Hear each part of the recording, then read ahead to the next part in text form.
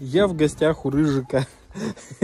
Эпопея внедрения в доверие продолжается. Вот он.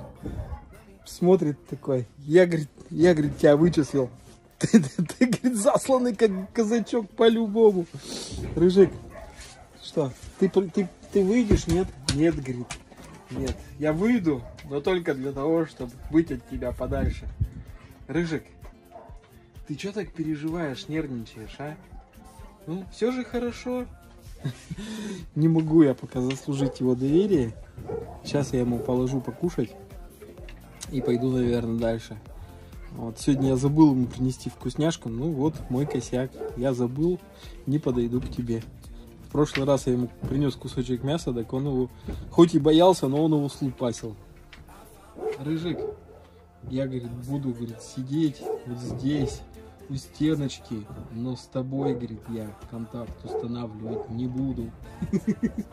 Рыжик, Рыжик, да Рыжик, Рыжик, да Рыжик, ты не волнуйся. Ты что волнуешься-то так сильно? Вот как же тебя так напугали, а? Что же с тобой такое делали? Вот, в принципе, он понимает, что я ему ну, не, не делаю ничего плохого, но он просто пытается избежать контакта.